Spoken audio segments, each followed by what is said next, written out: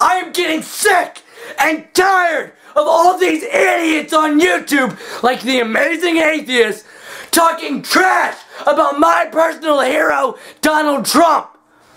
And the amazing atheist actually has the audacity to call Donald Trump stupid in his latest video. Hey, fat boy, didn't you drop out of school in the 10th grade?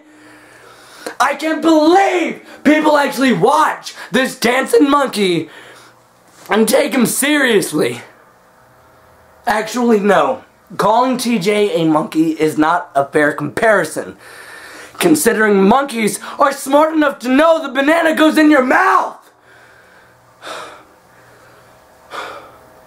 The Don will be our next president. And there's only one thing you can do about it, TJ. And that's nothing! Now, why do I support Donald Trump, some of you may ask? Isn't it obvious? We're both titans of industry, both men of the world, both wrote a few books, banked a few million, and bagged our fair share of supermodels.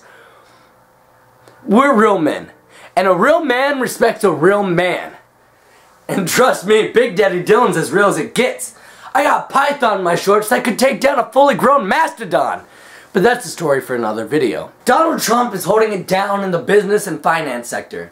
And Dylan the hacker is holding it down on the internet. We're the top dogs of our respective realms, and the top dogs stick together. We ride together, we die together.